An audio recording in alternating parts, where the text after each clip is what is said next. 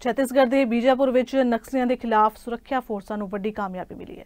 ਬੀਜਾਪੁਰ ਦੇ ਨਕਸਲ ਪ੍ਰਭਾਵਿਤ ਪੁਜਾਰੀ ਕੰਕੇਰ ਇਲਾਕੇ ਵਿੱਚ ਤੇਲੰਗਾਨਾ ਪੁਲਿਸ ਅਤੇ ਛੱਤੀਸਗੜ੍ਹ ਪੁਲਿਸ ਨੇ ਜੁਆਇੰਟ ਆਪਰੇਸ਼ਨ ਕਰਕੇ 10 ਨਕਸਲੀਆਂ ਨੂੰ ਹਲਾਕ ਕਰ ਦਿੱਤਾ।